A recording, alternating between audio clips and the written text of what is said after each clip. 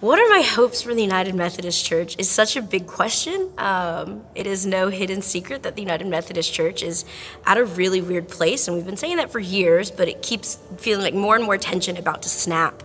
For me, I deeply believe, as everyone, you know, of for ordination does, in life, death, resurrection, that constant cycle.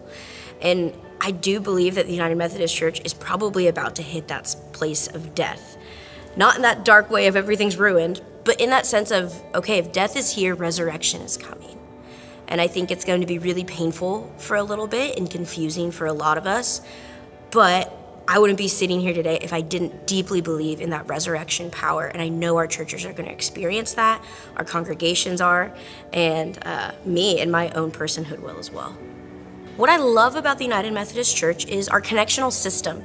Growing up in the non denominational church, that's not really a thing. You might make friends from other churches, but in the UMC, you are going to immediately find people who love God in the same way you do, have that similar theology, but also because it's that big tent church, uh, are able to push you in your theology and also love you and stand by you and encourage you. And truthfully, at this point in my life, the majority of my best friends, the majority of the people investing in my life are due to the connectional system of the United Methodist Church. So, my context of ministry is youth ministry, and I'm obsessed with it. I love it. I adore my students.